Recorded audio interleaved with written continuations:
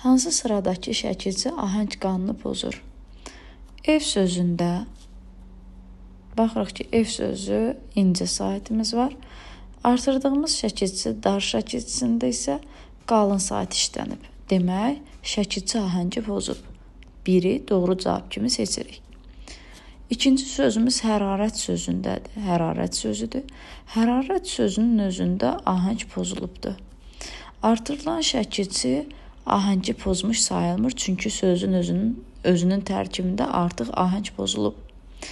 Enerjili sözündə, enerji sözündə e, yalnız incə saitlər iştirak edib, ona görə ahəng pozulmayıb. Artırılan şəkilçidə də incə saitimiz var deyə ahəngimiz pozulmayıb. Meydan sözünün özündə artıq ahəng pozulubdur. Artırılan şəkilçidə isə, yəni sözün kökündə ahəng pozulduğuna görə artıq bunu da seçmirik. Səbəb sözündə isə incə saitlərimiz var, ahəng gözlənilib. Amma şəkilçi artırdığımız zaman artıq ahəng qanunu pozulmuş olur.